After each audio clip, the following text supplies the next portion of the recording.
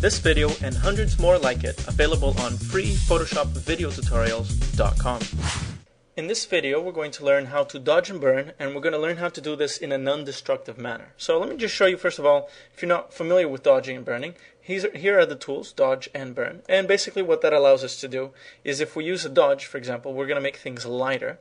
So with dodge, I'm just going to uh, press this over here, this guy's arm, and you can see, let me show you the before and the after. You can see it makes the image a lot uh, lighter.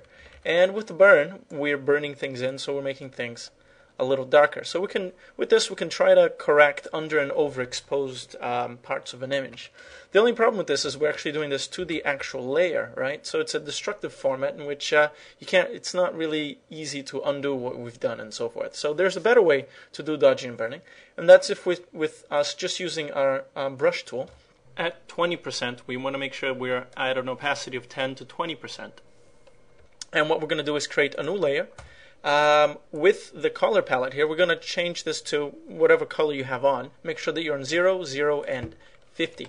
We want 50% um, gray here, a perfect 50% gray.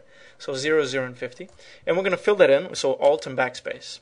And now we're going to change the mode of this to overlay. So what overlay is going to be able to do here is at 50%, at exactly you know halfway into the black and white spectrum, it's not really doing much. But if it's anything lighter than 50%, it'll make it lighter. Anything darker will make it darker. So what we want to do with our brush and with an opacity of 10, 20% thereabouts, kind of depends on the image that you're working on, we want to, with the black, make things darker, with the white, make things lighter. So it'll probably take you a few... Um, a few strokes to do this, but basically here, the problem that I have uh, with the, this picture over here is that the guy's arm here uh, is being blended into the suit. So what we want to do is make that arm lighter. So we're just going to stroke a few times and make that lighter. Now, of course, if you want to see what you've done, uh, you can just uh, unview the layer and view it back again, and you can see that we've made now the guy's um, arm here lighter. Now, um, if you're satisfied with that, you can leave that as B. But as you can see here in the guy's arm, I actually made a bit of a mistake. So how do we correct this mistake? Well, remember, like I said, the 50% gray isn't actually doing anything, right? It's, uh, it's making things neutral.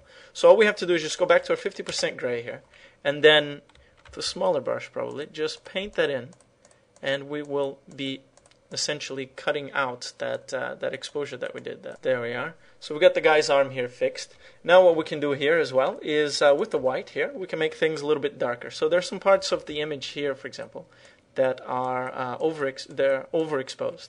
So what we want to do here with um, with our black actually is um, just paint that in. And with the whites, you might take a little bit more patience because it's a little bit harder to bring that in, especially if there is no detail.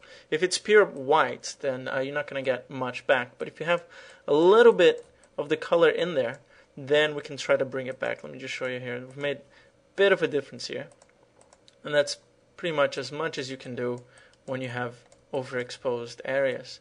And of course, when they aren't overexposed that much, we can easily bring that detail back. So it's just a matter of just applying the effect here to bring the details back. Right, so there you are. This is the uh, before and this is the after. We've brought back some of the details and actually made it a little bit less contrasty and a little bit better on the color. If you enjoyed this video, show your support by subscribing, rating, and adding it to favorites. Leave comments on our website and we'll create even more videos that interest you.